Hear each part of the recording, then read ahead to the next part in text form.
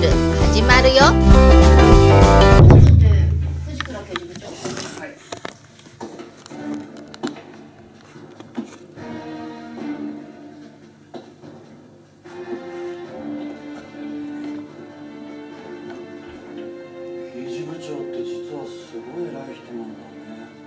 警察は会計社会だから刑事部長ともなれば雲の上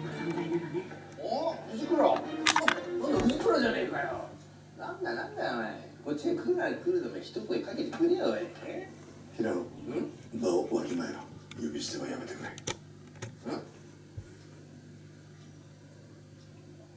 刑事部長ともなると堅苦しいって厄介だな。あの人もお偉いさんなんだ。銀の歯に棒は一本巡査巡査の人が藤倉刑事部長になんでタメ口？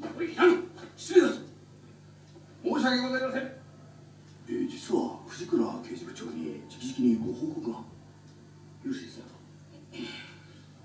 えー、タコ金の板長から初物のエビ芋を入手したので近々ぜひ臨場を望むとのこと。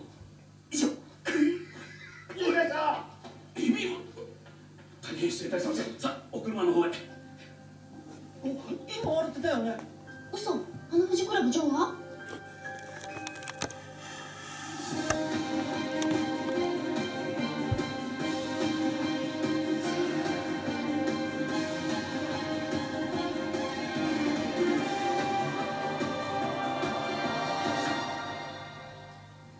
ねえ平野さん。何度も言ってるけど三丁目の根山町団地の騒音もう何とかしてよ。いいじゃねえかよ音ぐらい。年の割には耳が達者だって証拠じゃねえか。音楽ならいいんだけど赤ん坊の鳴き声ってすごいんだよ。うん。平野さん